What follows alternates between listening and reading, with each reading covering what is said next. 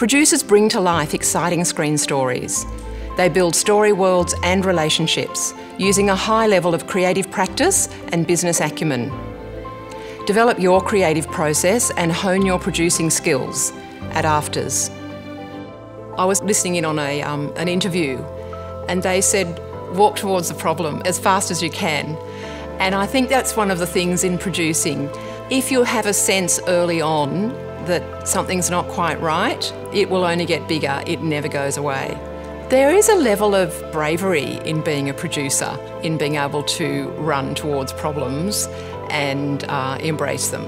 The ideal candidate for producing at AFTRS is someone who really wants to explore their creative voice and how they can bring that to the screen.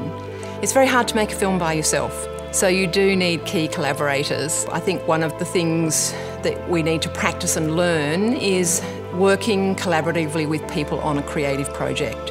One of the most challenging things for students is the range of information and knowledge and skills that they need to be across. Some people are more naturally drawn to developing of ideas, the writing of stories, the development of characters. Some people are more drawn to the financing and budgeting and contracting side, and some people just love being on set.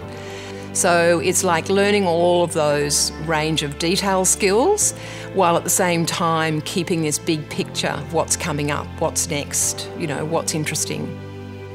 I'm a producer, script developer, and mentor. I'm Lyn Norfor, Head of Producing and Production at AFTRS.